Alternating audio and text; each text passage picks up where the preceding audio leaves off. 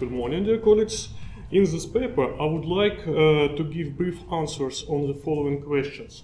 How, from the point of view of an unprepared spectator, should uh, an archaeological artifact look like, and what was the basis on this perception? What grabs the spectator attention when visiting a stone artifacts exhibition?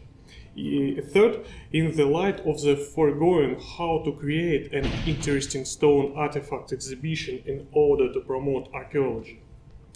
During my university internship at the holding of a Hermitage Museum, I heard from one of the museum workers that archaeological artifacts attract, attract very little attention among museum visitors.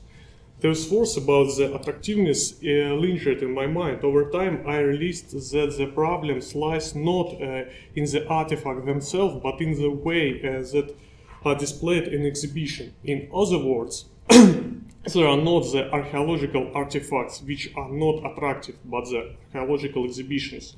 I asked my, myself what was so amazing about archaeology that made me choose these fields and professions that is how my fellow colleagues and I came up with an idea for an, an exhibition that would have spectators see artifacts the way a child sees them, full of mystery, ancient and beautiful. So, we decided to organize an exhibition of archaeological artifacts.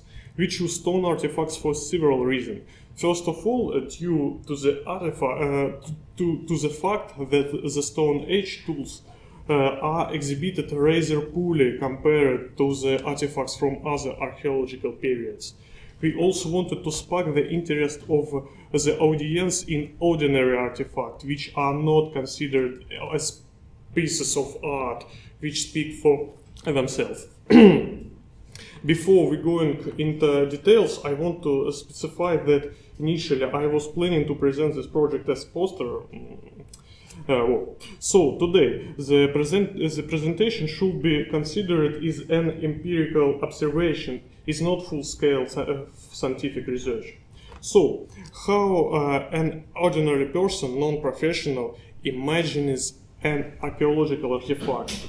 If we type in search box the word artifacts in Russian or archaeological artifacts, this notion mean usually the same in layman terms. The first picture we got will uh, look like this, or this, or this.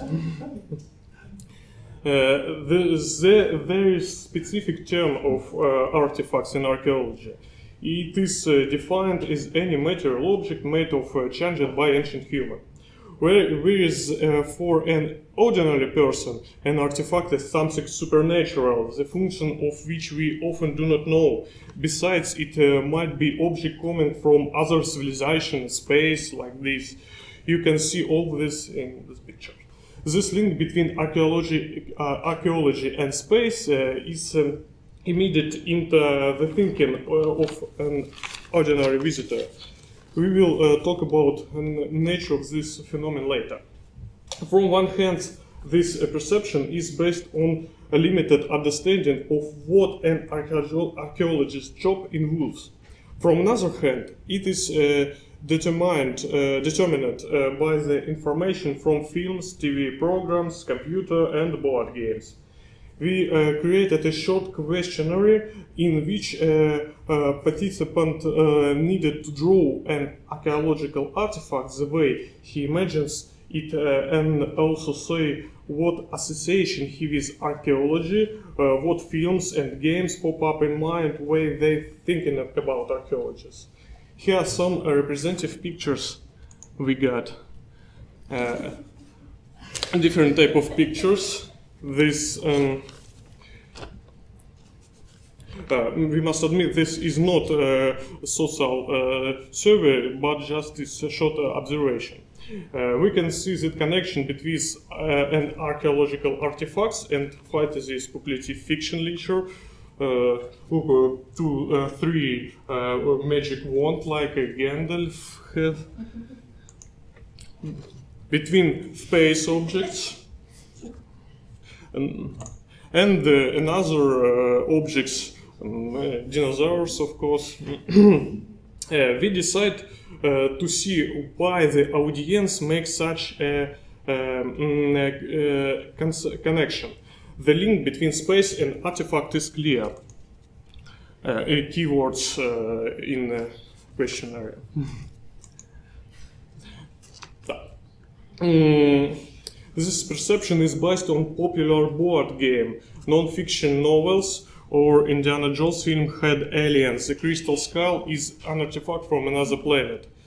Uh, if we speak uh, about artifacts as powerful magical uh, objects from fantasy culture, we must blame films and game equally.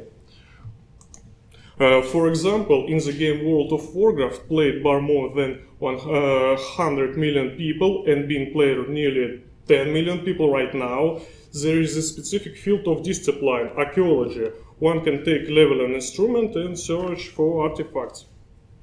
We have to add the such games it's not activity for children but pastime for millions of adult games in the world. Um, we should understand, uh, understand the influence those games have on people's perception of archaeology. This all adds uh, to, uh, up to the uh, misconception of what archaeologists do. This observation is important to understand the principle of which our exhibition based.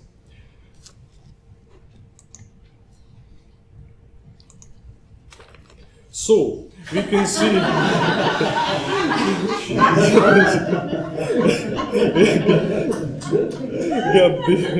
between the expectation of underprepared visitor and the reality. Does that mean that we need to transform archaeological exhibitions into entertainment venue? Absolutely not. At the same time, we will take into account the specific way of archaeological artifacts perception based on socio-cultural uh, environment. Um, some example of academic exhibition in uh, Hermitage in St. Petersburg Museum or a modern exhibition in uh, Zaraysk, it's town nearest Moscow. It's, a uh, problem, it's not in Russian museum, in uh, Crete, Heraklion museum. Stone Age exhibition, very small. uh, the, uh, now, having this image of an ideal archaeological artifact, we should determine, uh, determine what gaps the attention of our unprepared visitor at Stone Age Tools exhibition. So, we will talk about form uh, uh and color. Uh, dealing with the form of objects, the matter is quite ob obvious. As for the um, texture and color, we should go into details here. When uh, preparing an exhibition, we use the color criterion is one of the main characteristics. Willing to show the great diversity, the painters from our teams, uh, painters, artists, uh, our team choose artifacts of different colors. We need to um, previous the different colors and the materials were of uh, great importance in the previous centuries. Uh, Kerkanokrast in his PhD, The Stone Age of Northern East Europe, points out the importance of color uh, and uh, texture and, and different material about ancient inhabitants themselves when talking about the human additional changes in during Neolithization period. Mm. Uh, that is why the color of artifacts is extremely important for spectators as well as for a new Stone Age hunter. What else attracts uh, visitor attention? As we remember, one of the main characteristics of artifacts for visitor is uniqueness. uniqueness. Uh, based on a conclusion, we decide to take only few artifacts and put them separate pedestals instead of uh, filling up many exhibits in showcase. This uh, way we will able um, to show their uniqueness. Each pedestal is made separately in accordance with the color, form, function, and place uh, where artifact um, was found. For example, For example, this pedestal uh, represents a split log above which the stone is fixed on a transparent fixing system. We also put light bulbs inside the log so that will be pale light coming from the cracks. That pedestal represents the function of artifacts. This axe used to split the logs and in indicates the place where it is found uh, in uh, the woods of uh, Denmark. This process of creation pedestals. Besides, if we examine uh, through the pictures from the internet, which so-called artifacts, we will see this trend in putting them on pedestal or other such objects. The main purpose of this to make them even more impressive. We decide to follow this idea and make the pedestals higher. This method, uh, the variation of uh, side angle, when the spectators look from the bottom upwards, is uh, widely used in cinema to show uh, dramatic moment on uh, decisive action.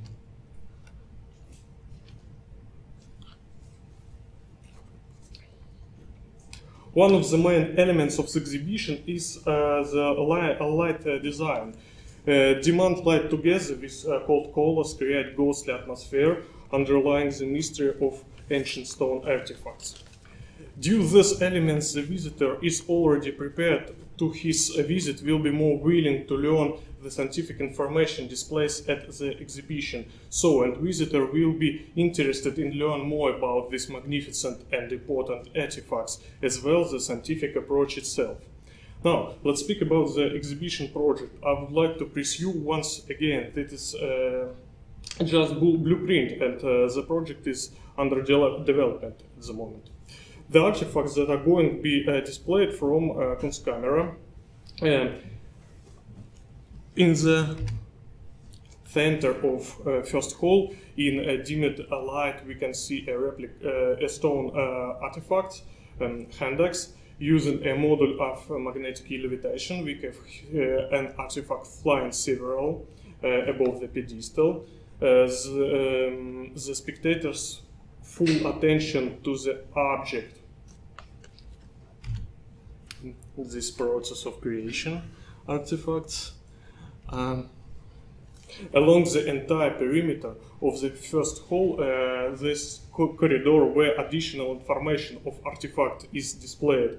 Here we can uh, here we can learn more about the place where they uh, were found at the stages of the field work of archaeologists.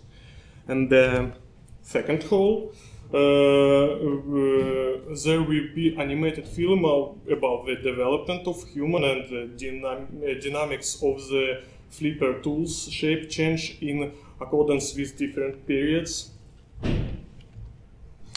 Uh, in the third hall, we'll bestow an artifact from across uh, the globe, Denmark, Egypt, Volga region, Siberia. Uh, they will be um, as, uh, stylized map uh, made by LED on the floor. The pedestals we, uh, will be placed on the map according to the place from which artifacts come. The, for, uh, the fourth hall will show the con connection between ancient people and modern society.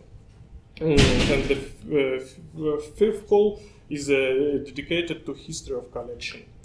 Um, in conclusion, so trying to save the aesthetical background corresponding, uh, corresponding the visitor's perception on archaeological exhibition, we will uh, strive, strive to deliver scientific knowledge uh, of uh, great quality.